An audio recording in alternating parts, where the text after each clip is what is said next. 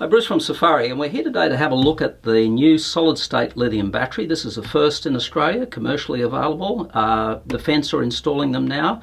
This battery here is 212 amp hours at 12 volts, and it's 53.1 at 48 volts. In watt hours, it's 27 12 watt hours that we have here. So the shape of this is such that we can stack two on top of each other like this. I'll just show you, and that will lock in and after it locks in there when you tie that down that battery won't move. That's because the cutout underneath in the battery matches the slightly raised profile in the handle and then the cables and the straps can come underneath.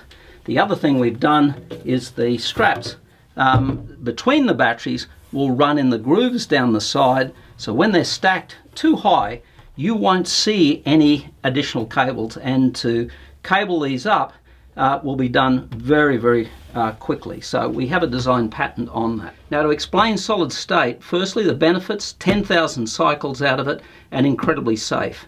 I will do a video coming up where I put a nail through the wafers in the battery here and uh, there'll be no explosion, no threat at all. Uh, you can also crush it with up to 200 kilonewtons and nothing will happen. You can overcharge it with twice the voltage. Uh, it is just unbelievably safe.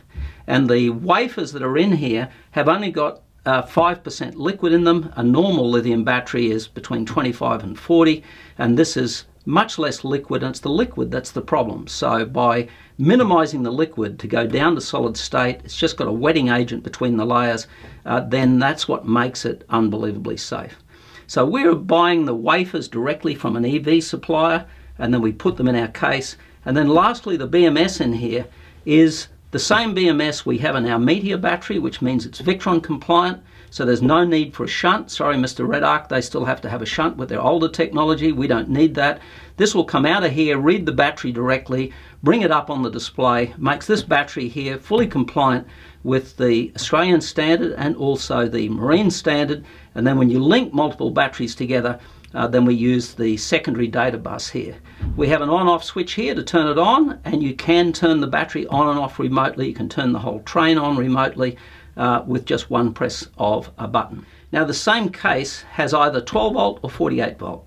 It means canopy builders, van builders can put exactly the same battery in and decide whether they're going to do a 12 volt or a 48 volt system purely based on the inverter. The batteries are identical. Uh, you can go 12 volt, 48 volt, and you don't need to change the design of how you're putting the batteries in.